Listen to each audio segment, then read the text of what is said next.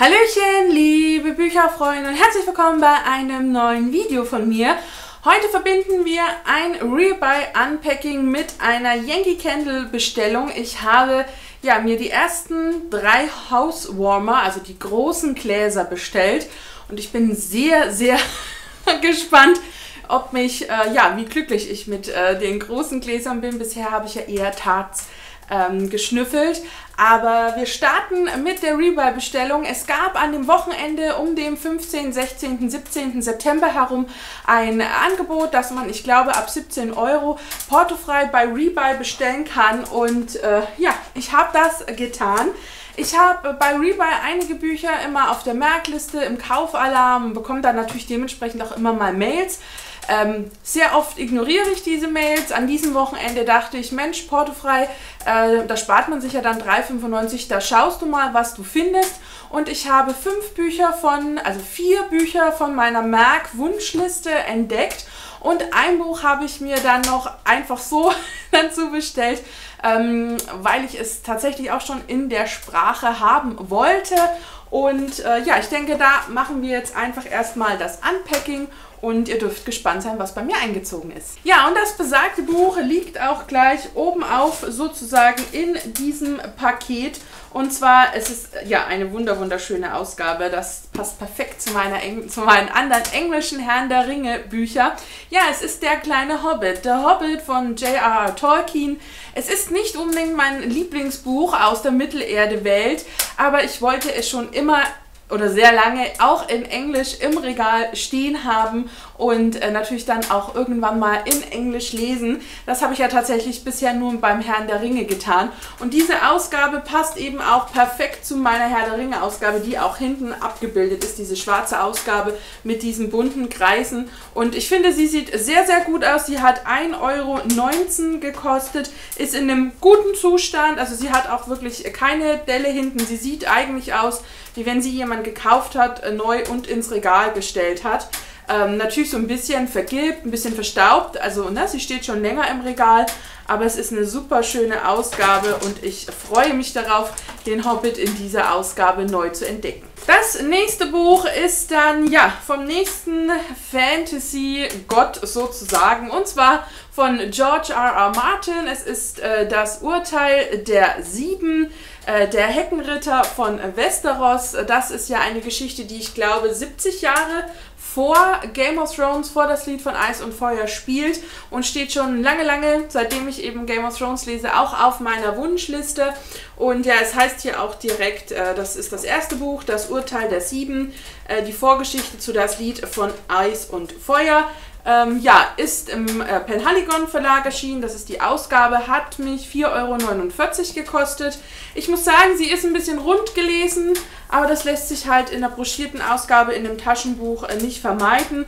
Und ansonsten sieht sie aber gut aus. Also wem das Rundlesen nicht jetzt stört, na, also von daher, das finde ich absolut in Ordnung. Und das ist, äh, ja, ich bin, ach, sehr schön. Ähm, ja, ich freue mich darauf. Äh, hier auch nochmal äh, die 1 und äh, freue mich sehr darauf, weil hier natürlich auch so ein bisschen nochmal mehr Input zu das Lied von Eis und Feuer möglich ist. Vom Zustand, ich bin zufrieden, mich stört das Rundgelese nicht und für den Preis auch absolut in Ordnung. Dann ein Buch, was mal etwas ganz anderes ist, worauf ich mich aber sehr, sehr freue und zwar ist das von Benny Rebel. Mein Abenteuer Wildnis Erlebnisse eines Tierfotografen. Und auf den Autor bin ich, glaube ich, gestoßen, ja, bei eins meiner vielen Recherchen über das Reisen. Ich ver ja, verfolge da einige Blogs, einige YouTuber und ich kann nicht mehr konkret sagen, wo ich Benny Rebell das erste Mal entdeckt habe. Habe dann auf seiner Seite äh, auch Interviews und sonstiges mir angeguckt und war ganz fasziniert und habe dann eben dieses Buch auf der Merkliste gehabt und es sind eben wunderbare Fotos darin enthalten und natürlich auch wirklich, was er eben alles wie fotografiert hat und hier wirklich so Aug in Aug mit den Großkatzen und es sind über 200 Fotos enthalten und auch Karten und ähm, ja, es war eine faszinierende Geschichte, äh, was ich von ihm erfahren habe und dann war ich natürlich neugierig, äh, ja auch hier, wie nah ähm, die Affen ihn an sich rangelassen haben. Ich glaube, so habe ich ihn auch entdeckt über äh, dieses Affenfoto. Und ja, ich bin mega, mega gespannt, freue mich, dass ich das Buch äh, gebraucht entdeckt habe. Hat, glaube ich, äh, Moment, 5,49 gekostet. Ist in einem guten Zustand. Ich, ja, es ist halt, der Schutzumschlag ist ein, ein bisschen äh, geknickt. Aber ja, ne, das ist für mich nicht das Problem. Ansonsten kommt es ja hier wirklich auf den Inhalt an, auf die Bilder, auf die Karten und auf das, was der Autor entdeckt hat. Und da freue ich mich schon sehr, darüber zu lesen. Dann sind es noch zwei Bücher und äh, ja, das erste Buch ist dann davon Die Zelle von Jonas Winner. Das Buch habe ich für 2,89 ergattert. Äh, Jonas Winner hat äh, mich in diesem Jahr ja sehr zum Gruseln und Schaudern gebracht bei Mörderpark. Ein Thriller, der mir sehr gut gefallen hat, der mich äh, in die Abgründe der menschlichen Seele mitgenommen hat. Und die Zelle hat mich auch sehr, sehr angesprochen.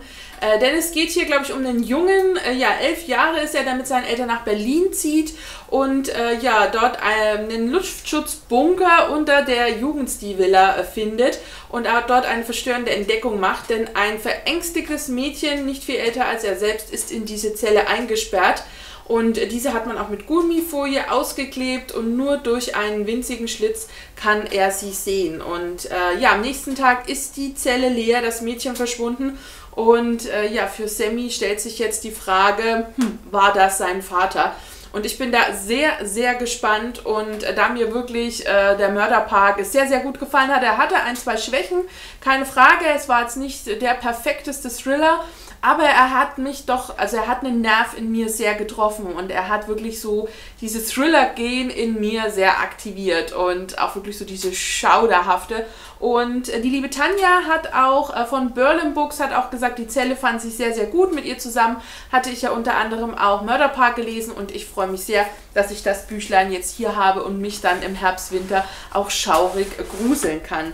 Ja, und dann geht es direkt mit dem nächsten Buch von George R. R. Martin weiter. Nachdem äh, ja, der sechste das Lied von Eis und Feuerband auf sich warten lässt und wohl dieses Jahr doch nicht erscheinen wird, ja, ich habe da ja lange dran geglaubt, dachte ich mir, verspaße ich mir mein Leben so ein bisschen mit anderen Büchern von ihm und habe mir den ersten Teil der Traumlieder geholt. Das ist ja eine Sammlung von Erzählungen und Kurzgeschichten und da gibt es, glaube ich, drei Teile. Äh, richtig, die hier auch hinten drauf sind, auch so klassisch wie eine Trilogie in Blau, Rot und Grün. Und man hat hier einiges an Kurzgeschichten. Das Buch habe ich für 3,99 ergattert und äh, ich weiß jetzt gar nicht, wie viele Geschichten da konkret drin waren. Ich habe mich da gar nicht so konkret mit beschäftigt. Ja, es sind drei Geschichten enthalten, äh, die ja eher, glaube ich, auch so ein bisschen in die Science-Fiction-Richtung gehen und nicht in die High-Fantasy-Richtung, äh, ja, wobei es auch halt oft eine Mischung sein wird.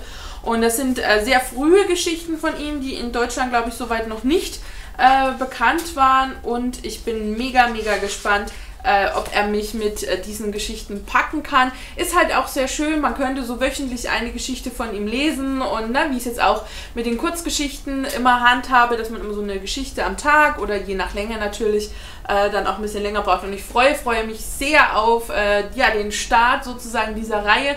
Und wenn sie mir gefällt, äh, habe ich ja noch zwei andere Bücher sozusagen vor mir, äh, die eben auch äh, diese Kurzgeschichten, es sind ja schon eher Erzählungen als Kurzgeschichten, dann eben äh, ja im Grunde mich freuen kann. Es sind über 540 Seiten, das durch drei, ja sind es nicht mehr ganz Kurzgeschichten, aber für 3,99 äh, finde ich auch der Zustand sehr, sehr gut.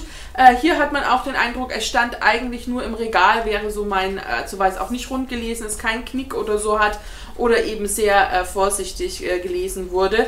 Und es heißt hier auch, George R. Martin ist der amerikanische Tolkien. Ja, wenn er es gar zu Ende schreibt, sein das Lied von Eis und Feuer, dann könnten wir da hinkommen. Ähm, aber ich glaube, er hat sich so ein bisschen selbst verschreckt. Aber gut. ja, wie ihr seht, äh, die Rebuy-Bestellung war doch ein bisschen George R. Martin und Tolkien, High Fantasy-mäßig lastig.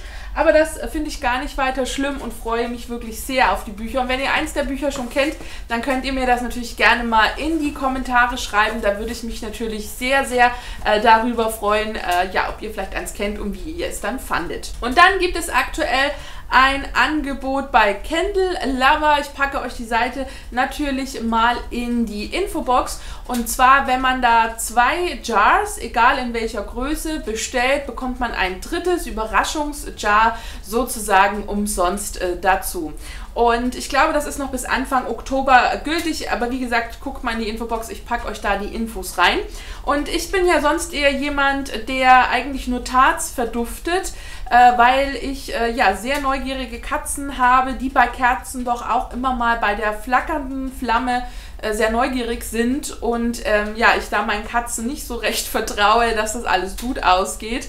Und ähm, ja, habe mich aber durch das Angebot doch ein bisschen verlockt gefühlt und dachte, jetzt probiere ich einfach mal ja, Housewarmer aus, wie man sie ja nennt, gerade das große Glas und habe mir eben zwei Gläser bestellt und eins kam umsonst dazu. Ich habe ein Foto vom Auspacken gemacht oder ein Video, das blende ich euch jetzt einfach mal mit ein, äh, weil ich wirklich die Verpackung großartig fand. Also man sieht wirklich, diese drei Kerzen haben den perfekten Platz in diesem Karton, sind wirklich sehr gut mit Luftfolie sozusagen, mit dieser Knisterfolie auch verpackt gewesen und man hat wirklich den Eindruck, dass man hier sehr, sehr probiert, dass eben nichts kaputt geht. Man hört ja sehr oft zum Beispiel bei Amazon Bestellungen, dass Gläser kaputt gehen.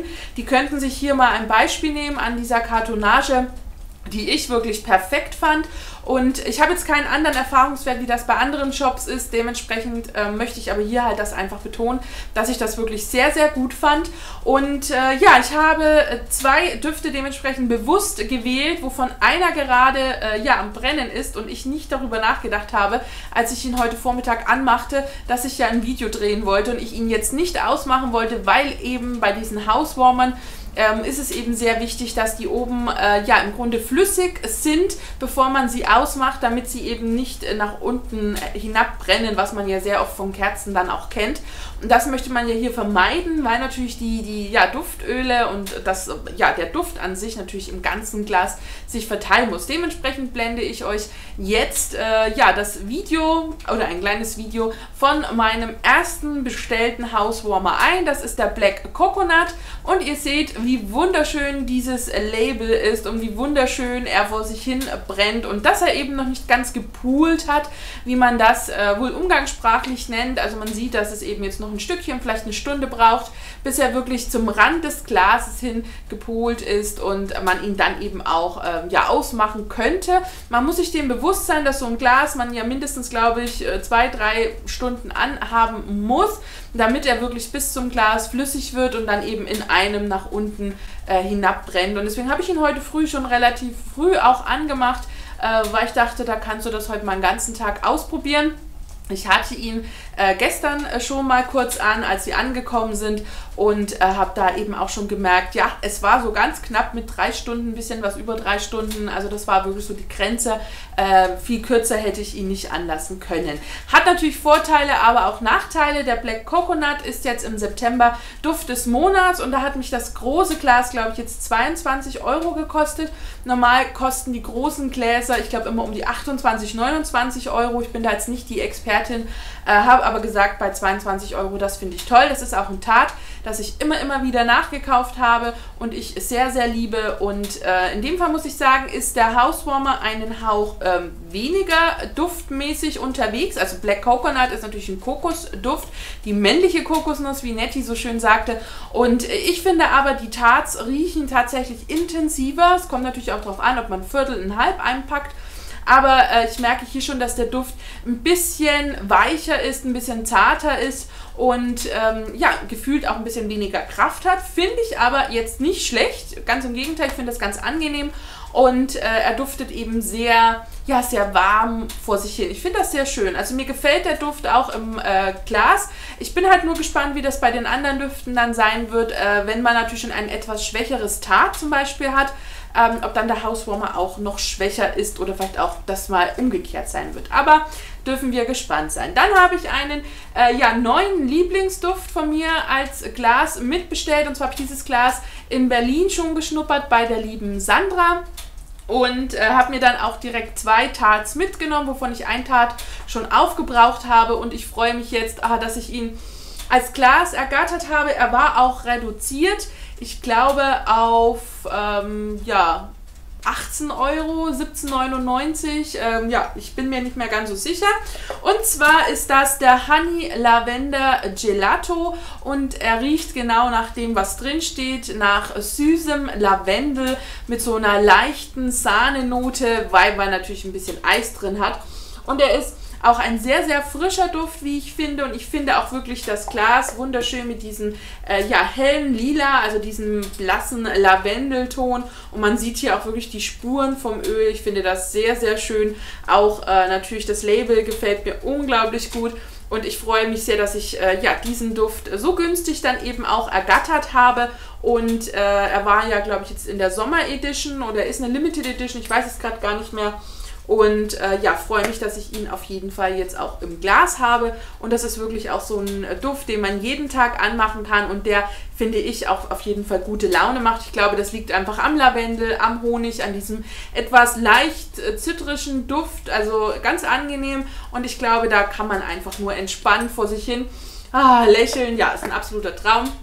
Und ich freue mich wirklich sehr, dass es den günstig gegeben hat. Und jetzt äh, natürlich die große Frage war, was wird als großes äh, Zusatzglas mit einziehen?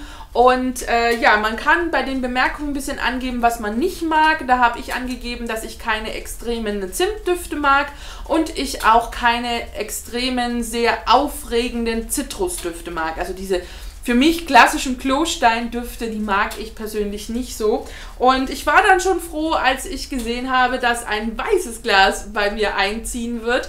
Äh, hatte dann schon kurz die Hoffnung, vielleicht ist es mein Lieblingsduft Soft Blanket. Ich weiß nicht, ob man das hätte angeben können, aber ich wollte mich ja überraschen lassen und deswegen keine äh, konkrete Vorgabe geben. Und dann habe ich äh, ja Fluffy Towels im Karton entdeckt und war sehr erleichtert, dass es wirklich ein Duft ist, den ich auch mag. Er gehört jetzt nicht zu den absoluten Favoriten. Ich kaufe ihn aber durchweg immer mal wieder nach, wenn mir wirklich nach diesem ja, frische Wäscheduft ist. Ich finde das wirklich auch gerade im Frühling, Sommer ganz, ganz toll. Ich benutze Fluffy Towel zum Beispiel gerne, äh, wenn ich im Bad äh, großen Reinetag habe und es dann doch ein bisschen chloriger vielleicht riecht nach dem Putzmittel.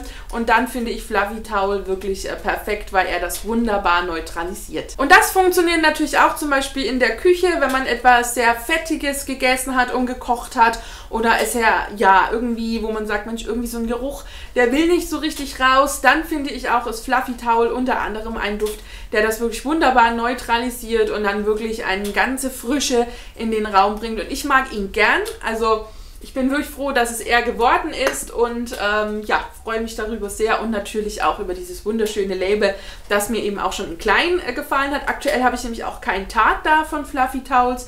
Dementsprechend bin ich jetzt ganz happy, äh, dass es natürlich ein Glas geworden ist. Und so habe ich jetzt eben für drei Gläser, ich glaube 42 Euro bezahlt, was, wenn man es jetzt eben runterrechnet, 14 Euro für ein einzelnes Glas ist, was ja wirklich ein Schnäppchenpreis in dem Falle dann ist.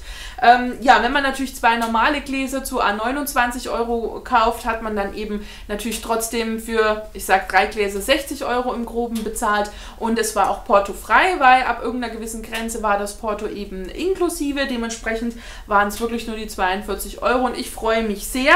Habe natürlich auch eine günstige Wahl getroffen im Monatsduft und im reduzierten Duft, aber da kann man ja durchaus mal auf der Seite sich umsehen, äh, was einen da vielleicht auch von den reduzierten Düften anspricht. Ich glaube, bei den Monatsdüften ist es im September noch der Vanilla Lime. Das ist aber ein Duft, den ich persönlich nicht mochte als Tat. Äh, dementsprechend durfte dann eben einer meiner Lieblingsdüfte, der Black Coconut, mit. Und ich hoffe, ihr hattet jetzt ein bisschen Spaß bei diesem Kombinationsvideo aus Büchern und Kerzen und äh, ja, Vielleicht war für jeden ein bisschen was dabei. Ich hoffe, ihr hattet Spaß. Vielleicht wollt ihr mir verraten, wie ihr die Düfte findet und ob ihr vielleicht selbst euch auch auf einen Überraschungsduft eingelassen habt und welcher es dann vielleicht war und ob ihr darüber zufrieden wart. Und äh, ja, wünsche euch nun noch einen schönen Tag, einen schönen Abend. Danke euch fürs Zusehen und bis zum nächsten Video. Tschüss, eure Steffi.